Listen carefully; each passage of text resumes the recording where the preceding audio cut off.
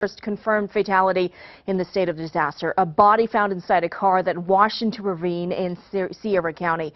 Elsewhere, homes are damaged and roads washed away.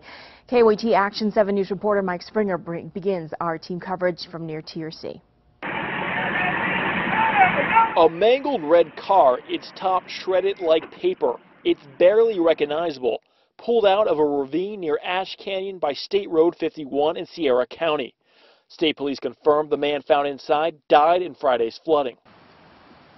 In other parts of the county, the heavy rains and flooding damaged homes, uprooted fences, and washed away roads. So the road that went through here and took you across would go to where? It would just go over here to the field. Governor Susana Martinez toured the damage. She had words of encouragement for residents. We've always, always persevered. We have always pulled together to help our neighbors. And pulling together is what neighbors in Animas Creek are doing right now.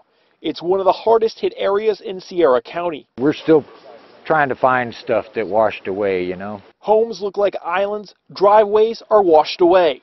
People here say it's some of the worst damage they've seen in more than 40 years. They won't forget it. In fact, I'll bet you there'll be a lot of places for sale up here now. Reporting in Sierra County, Mike Springer, KOAT Action 7 News. The county expects to have cost estimates on the damage sometime next week.